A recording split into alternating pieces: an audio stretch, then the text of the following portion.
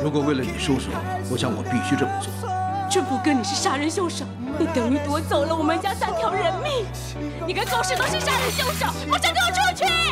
我要夺回智婉，让这一切回到原本该有的样子。周一至周五晚间八点，未来戏剧台《幸福像今天一样》。